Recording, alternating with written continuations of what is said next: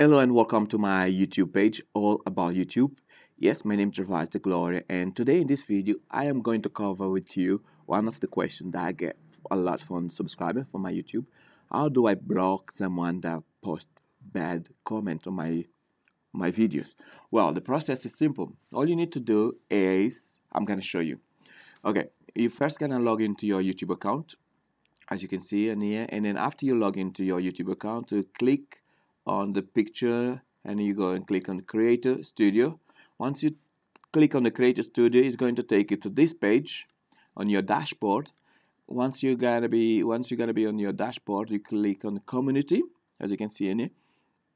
Once you click on the community it's gonna take you to give you different options on the community. You want to go to comments.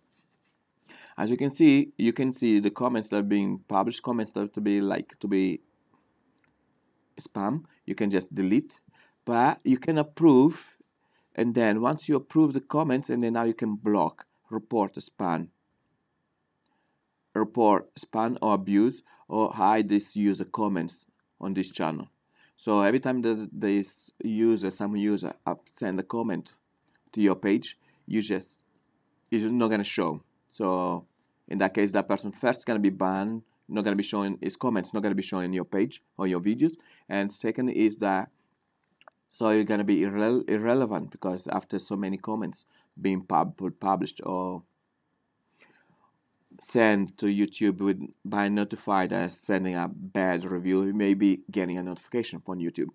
Yes thank you for watching this video and I believe that I help your question hope to solve your question. And please leave your comment and if you have any question please go ahead. Thank you.